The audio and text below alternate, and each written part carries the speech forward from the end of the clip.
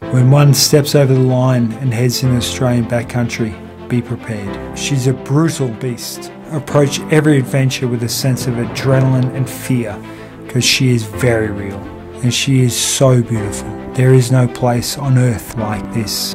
Into the wild.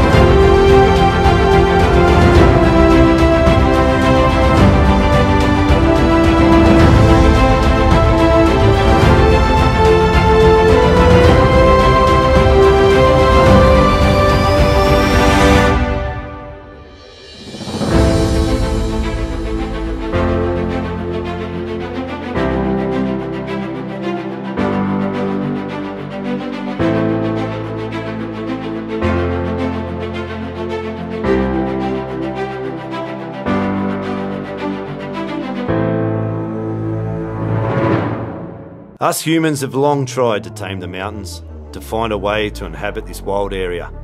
But Mother Nature has her own agenda. The ruins of this chairlift are testament to her ways. Built in the 60s, it ran for one year before the winds beat her down. This really is the last frontier. We tread lightly and carefully, enjoying the fleeting joys of the snow season, leaving only our tracks and lifelong memories.